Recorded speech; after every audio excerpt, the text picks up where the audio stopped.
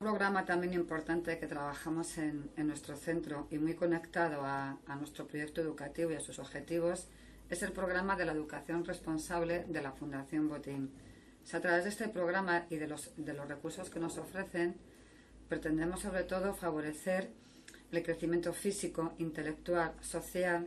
y sobre todo el crecimiento emocional. A través de este programa también tratamos de promover la comunicación y mejorar la convivencia de todos los miembros de nuestra comunidad educativa. Eh, las propuestas a través del arte, de la creatividad, de la literatura, de la música, eh, abarcamos variables tan importantes como es que nuestros alumnos puedan identificar y expresar sus emociones, la empatía, poder ponerse en el lugar del otro, trabajar su autoestima, la salud, eh, promover actitudes positivas hacia la salud, ayudarles a tomar decisiones y sobre todo habilidades de interacción.